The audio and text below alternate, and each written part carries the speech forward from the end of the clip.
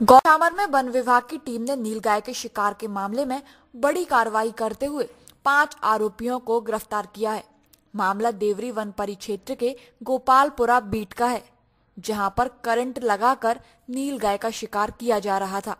सूचना मिलते ही वन विभाग की टीम मौके पर पहुँची और आरोपियों को गिरफ़्तार कर लिया। पाँच एक बजे सुबह। अच्छा। कौन कौन थे? हम अकेले। और कौन कौन से कार्य तो हमने बुला लाओ तो साहब सो अच्छा कौन कौन बुलाओ? अरे दो तीन जनों को बुलाओ तो।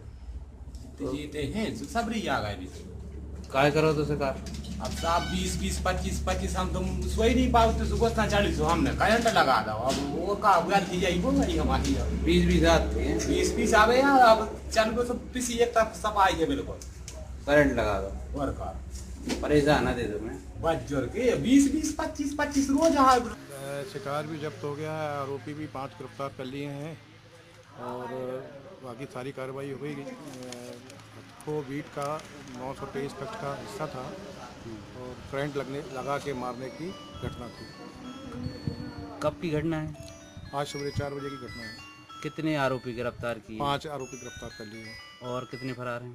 दो तीन फरार और हैं अभी ऐसा है तो उनको और सूचवत कर रहे हैं। तो इन आरोपियों को गिरफ़्तार करके कौन से क्या कार्रवाई की वाइल्ड लाइफ एक्ट में उनके विरुद्ध कार्रवाई की जा रही है कोर्ट में चालान करेंगे कोर्ट में पेश कर देंगे अभी और वाइल्ड लाइफ एक्ट के अंतर्गत उनसे बात करके केस चलेगा गौर झामर से प्रहलाद साहू सागर टीवी न्यूज़।